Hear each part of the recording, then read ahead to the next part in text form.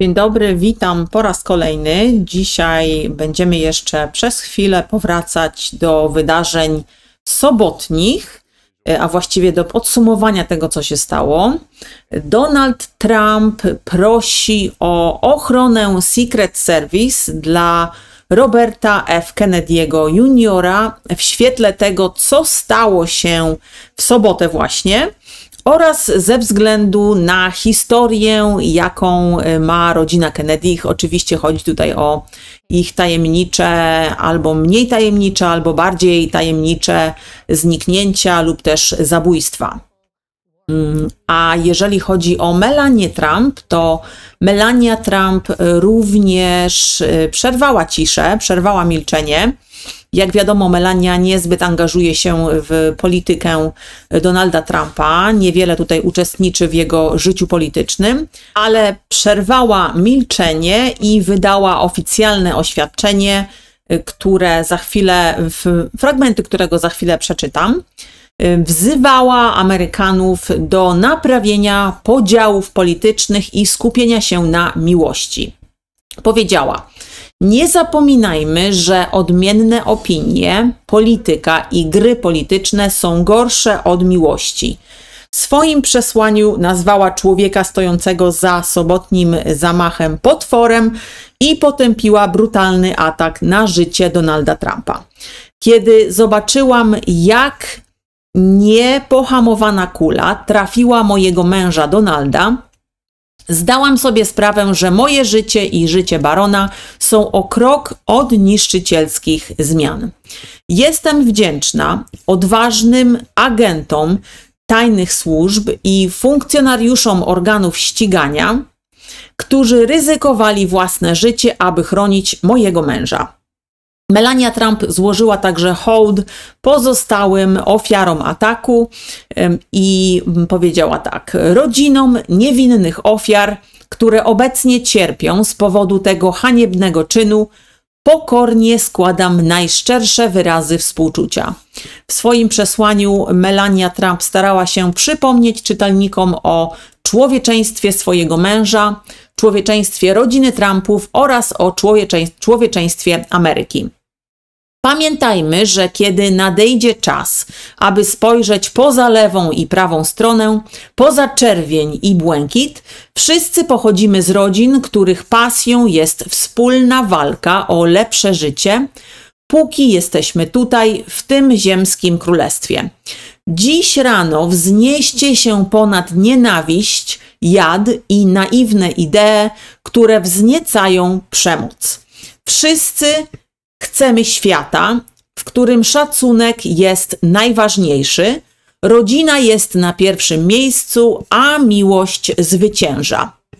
Ja chciałam jeszcze wspomnieć o takim incydencie, który miał miejsce nie, niedawno. Było, była to wypowiedź Joe Bidena, który powiedział, że Donald Trump jest zagrożeniem. Zresztą wiemy, że lewica cały czas straszy Donaldem Trumpem, mówi, że jest zagrożeniem dla demokracji.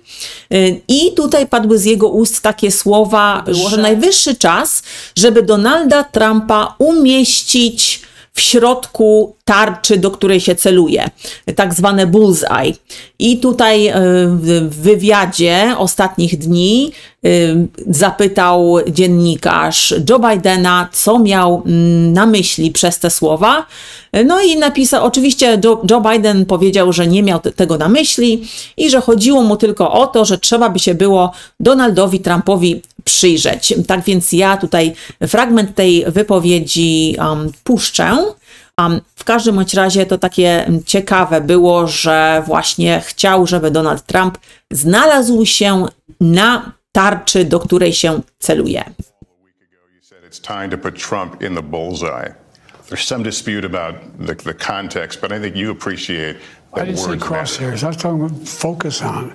Look, the truth of the matter was what I guess I was talking about at the time was there was very little focus on Trump's uh, agenda. Yeah, the term is bullseye. It was, a, it was a mistake to use the word. I didn't. I didn't say crosshairs. I meant bullseye. I meant focus on him. Focus on what he's doing. Focus on on his on his policies. Focus on the number of lies he told in the debate. Focus. I mean, there's there's a whole range of things that look. I'm not the guy that said I want to be a dictator on day one.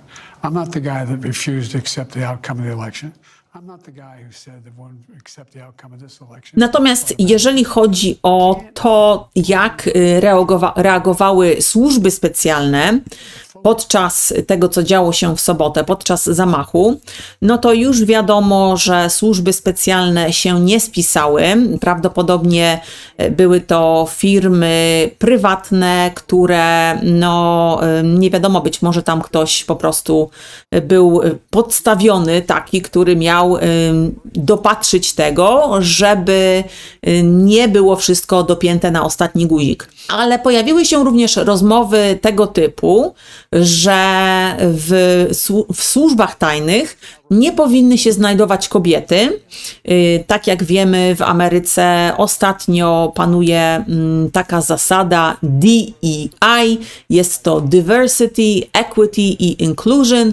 Chodzi oczywiście o to, żeby była sprawiedliwość i żeby każdy miał szansę, mm, żeby wykonywać taki zawód, jaki chce. Y, no i w związku z tym pojawiły się teraz rozmowy, że kobiety, mm, zwłaszcza te panie, które tam brały udział, proszę zobaczyć teraz właśnie na ekranie są.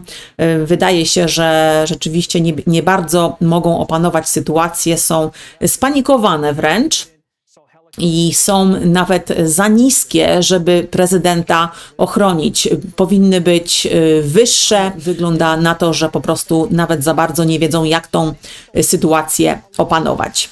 Y, natomiast y, jeżeli chodzi o mm, kolejne jeszcze wydarzenia, aha, jeszcze jeżeli chodzi o wydarzenia Secret Service, czyli tajnych służb, dyrektorka służb tajnych nie poda się do dymisji po sobotnich niekompetentnych zachowaniach Secret Service. No, widocznie według niej nie było to nic takiego szczególnego, jeżeli chodzi o zachowanie tych funkcjonariuszy.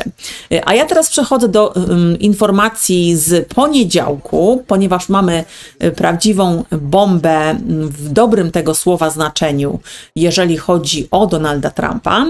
Y, otóż z akt sądowych y, z poniedziałku wynika, że sędzia Eileen Cannon oddaliła sprawę dotyczącą tajnych dokumentów przeciwko Donaldowi Trumpowi. Sędzia orzekła, że powołanie specjalnego prokuratora Jacka Smitha było niezgodne z konstytucją. Akt zastępczy zostaje odwołany, ponieważ powołanie specjalnego doradcy Jacka Smitha narusza klauzulę Konstytucji Stanów Zjednoczonych dotyczącą nominacji. Jak napisała sędzia. Eileen Cannon napisała, że nominacja Jacka Smitha była niezgodna z konstytucją, e, ponieważ skutecznie uzurpuje sobie władzę kongresu. E, The Framers, czyli e, twórcy konstytucji, ci, którzy przygotowali konstytucję, bo tak mówi się właśnie o nich, The Framers, przyznali kongresowi kluczową rolę w mianowaniu głównych i niższych urzędników, jak napisała sędzia w obszernym orzeczeniu. Ta rola nie może zostać przejęta przez władzę wykonawczą ani rozproszona gdzie indziej. Czy to w tym, czy w innym przypadku, czy w czasach wzmożonych potrzeb narodowych, czy nie. Po dokładnym zbadaniu podstawowych wyzwań podniesionych we wniosku, Trybunał jest przekonany, że ściganie tego działania przez specjalnego doradcę Jacka Smitha narusza dwa strukturalne kamienie węgielne naszego systemu konstytucyjnego: rolę kongresu w mianowaniu urzędników konstytucyjnych oraz rolę kongresu w zakresie zatwierdzania wydatków na mocy prawa. Eileen Cannon zauważyła, że jej orzeczenie nie ma zastosowania do innych jurysdykcji, co oznacza, że to orzeczenie może nie mieć zastosowania do kolejnej sprawy, która toczy się przeciwko Donaldowi Trumpowi, a konkretnie chodzi tutaj o sprawę wydarzeń dotyczących tego, co miało miejsce na Kapitolu 6 stycznia. Rzecznik specjalnego prokuratora nie odpowiedział natychmiast na prośbę o komentarz. Chodzi oczywiście o rzecznika specjalnego prokuratora Jacka Smitha. Natomiast jeżeli chodzi o tą sytuację, to przyjrzyjmy się może przez chwilę tutaj sprawie, która jest z tą, z tą sprawą poniedziałkową związana. Chodzi tutaj o kwestię, o sprawę Morrison przeciwko Olson. Jest to sprawa sądowa z 1988 roku. Ja tak tylko pokrótce tutaj wspomnę. Decyzja Sądu Najwyższego, która stwierdziła, że ustawa o niezależnym doradcy jest zgodna z konstytucją. Y, jedynym sędzią Sądu Najwyższego, który wtedy sprzeciwił się tej decyzji, był sędzia Scalia i ten sędzia właśnie przeszedł do historii jako jedyna osoba, która sprzeciwiła się tej decyzji, która po latach już y, okazało się, że jednak była słuszną decyzją, czyli to, że się sprzeciwił większości, było było słuszne. No, ale właśnie w tym momencie mamy teraz potwierdzenie, że rzeczywiście ten jego sprzeciw miał sens i okazało się, że, że specjalny doradca Jack Smith jednak był tutaj w niekonstytucyjny sposób wyznaczony. Y, a ja teraz już przechodzę o, do sprawy, do tego, co dzieje się w, Milwo, w mieście Milwaukee. Dzisiaj jest wtorek, jak nagrywam, i dzisiaj zaczyna się, zaczął się już drugi dzień konwencji republikanów. Jak wiadomo, Donald Trump miał swoje pierwsze y, publiczne pokazanie się właśnie na tej konwencji republikanów w poniedziałek, ale również miały tam miejsce różnego rodzaju, y, różnego rodzaju protesty. Jeden z takich protestów y, oczywiście był przeciwko Donaldowi Trumpowi i wyglądało to niezbyt ciekawie. A dzisiaj jest już wtorek i dzisiaj miała miejsce akcja pewnego rodzaju, ponieważ wiadomości z ostatniej chwili tutaj mamy, że został ktoś postrzelony, który był mm, podejrzany o to, że, e, że mógł być zagrożeniem w tamtych, e, jeżeli chodzi o konwencję republikanów. Tak więc mamy potwierdzenie, że policja wkroczyła do akcji we wtorek i kogoś zastrzelili. A może jeszcze przeczytam oświadczenie Trumpa po tym, jak została wydana decyzja Sądu Najwyższego w poniedziałek. Y, ta decyzja lub też to oświadczenie brzmi następująco. W miarę jak posuwamy się naprzód, w jednoczeniu naszego narodu po strasznych sobotnich wydarzeniach, oddalenie aktu oskarżenia o bezprawnym procesie na Florydzie powinno być zaledwie pierwszym krokiem, po którym szybko powinno nastąpić oddalenie wszystkich polowań na czarownice oszustwa 6 stycznia w Waszyngtonie, sprawy zombie na Manhattanie, oszustwa prokuratora generalnego w Nowym Jorku, fałszywego roszczenia dotyczącego kobiety, której nigdy nie spotkałem, oraz opłaty za rozmowy telefoniczne w stanie Georgia. Departament Sprawiedliwości Demokratów koordynował wszystkie ataki polityczne, które stanowią spisek dotyczący ingerencji w wybory przeciwko politycznemu przeciwnikowi Joe Bidena, czyli mnie. Połączmy się, aby zakończyć używanie naszego systemu sprawiedliwości jako broni i uczyńmy Amerykę znów wielką. A ja jeszcze na koniec powrócę do tego, co miało miejsce wczoraj. Tak jak powiedziałam, wczoraj pierwszy raz y, Donald Trump wystąpił publicznie po sobotnim zamachu i również wczoraj dowiedzieliśmy się z mediów społecznościowych, kogo będzie miał Donald Trump jako kandydata na swojego wiceprezydenta. Jest to pan, właśnie ten J.D. Vance, który Y, bardzo niekorzystnie wy, wyrażał się o Donaldzie Trumpie. Y, mówił, że tak naprawdę nigdy by go nie popierał i mm, nazwał go nawet y, amerykańskim Hitlerem. Dlaczego go Donald Trump wybrał? Za chwilę do tego jeszcze przejdę, a na razie posłuchajmy może właśnie, co sam J.D. Vance miał do powiedzenia o Donaldzie Trumpie.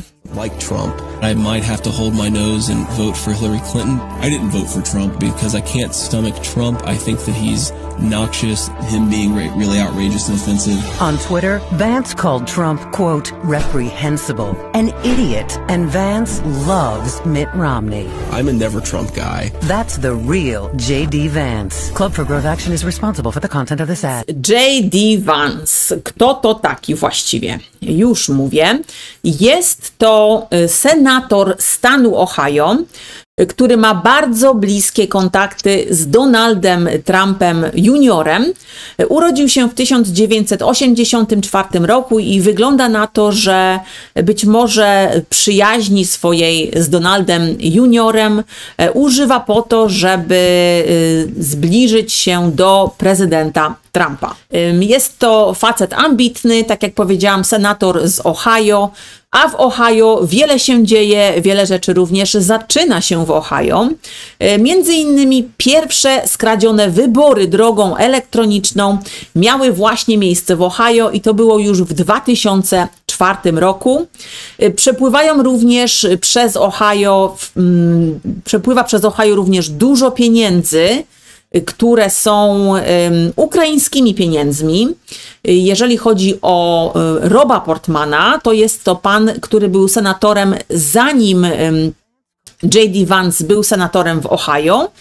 I właśnie J.D. Vance objął mandat senatora Roba Portmana w Ohio, a Robert Portman, Rob Portman w Ohio był mm, właściwie kupiony przez Ukrainę. Duże sumy pieniędzy przepływające przez Departament Bezpieczeństwa dokładnie właśnie przez Ohio przepływają. Między innymi Victoria Nuland y, przyjeżdżała do Ohio i spotykała się z politykami w Ohio, omawiając brudne interesy. Również jest taka, taka fundacja, która zajmuje się tam, y, która przeznaczona jest tak naprawdę do prania brudnych pieniędzy. Tutaj jest taki post, który, na które, któremu się możemy przyjrzeć i co on powiedział dokładnie. Nie jestem zaskoczony awansem Trumpa i myślę, że cała partia jest sama sobie winna. Jesteśmy, czy nam się to podoba, czy nie, partią białych ludzi o niższych dochodach i niższym wykształceniu i od dawna mówię, że musimy tym ludziom coś zaoferować. E, Tutaj nie przeczytam całego, ale takie tylko wybrane fragmenty. Wędruje pomiędzy myśleniem, że Trump to cyniczny dupek jak Nixon, um, który nie byłby taki zły, a nawet mógłby się okazać przydatny, lub że jest amerykańskim Hitlerem. A jeżeli chodzi o J.D. Vansa, to ciekawe, czy posty 17 litery alfabetu z 2017 roku y, może nam tutaj pokazują, że trzeba by się mu, mu przyjrzeć, y, ponieważ y, ten post mówi o tym, żeby zająć się firmą prawniczą, y, która jest tutaj teraz na ekranie, Sidley Austin, a dla tej firmy prawniczej właśnie pracował J.D. Vance i również pracowała tam Hillary Clinton. A jeszcze kilka słów o panu J.D. Vance. Otóż tak, Jim Breyer, ym, partner biznesowy J.D. Vance'a, jest, y, jest mężem kobiety o imieniu Angela Chao która, która jest siostrą Elaine Chao. Elaine Chao była sekretarzem transportu USA za administracji Donalda Trumpa i sekretarzem pracy USA przez wszystkie 8 lat administrowania George'a Busha. Elaine Chao jest żoną przywódcy mniejszości w Senacie Stanów Zjednoczonych, pana o, o nazwisku Mitch McConnell. Innymi słowy, partnerem biznesowym J.D. Vance'a jest szwagier amerykańskiego senatora Mitcha McConnella. Zarówno Angela Chao, jak i Elaine Chao, żona Mitchella McConnella, są córkami chińsko-amerykańskiego biznesmena Jamesa C. Cheng Chao, założyciela globalnej firmy mm, handlowej i finansowej o nazwie Foremost Group. I teraz są takie przypuszczenia, czy rzeczywiście Donald Trump wie, co robi i ten jego krok, jeżeli chodzi o wiceprezydenta J.D. Vance'a, było to zamierzone, czy wie y, tak naprawdę, kim jest J.D. Vance? No, chyba raczej powinien wiedzieć, prawda? y, i czy jest to być może strategia kolejna z jego strony, że go wybrał, czy może mm, od, będzie chciał go użyć do tego, żeby odkryć to cało, tą całą korupcję w Ohio, bo jak wiemy, wszystko zaczyna się w Ohio i y, jeżeli odkryjemy to, co dzieje się w Ohio, to być może to doprowadzi do odsłonięcia całej korupcji w całych Stanach Zjednoczonych. A jeżeli chodzi na przykład o panią Tori Sess, to tutaj pani Tori wysnuła również taką, taką, e, taki argument, że e, być może fakt, że Donald Trump wybrał J.D. Vance'a jako swojego kandydata na wiceprezydenta, e, być może zrobił to dlatego, żeby uniknąć konfliktu konstytucyjnego. Y, O tym y, będę relacjonować, jeżeli tylko zdobędę więcej informacji na ten temat. A na dzień dzisiejszy to już wszystko. Do następnego razu.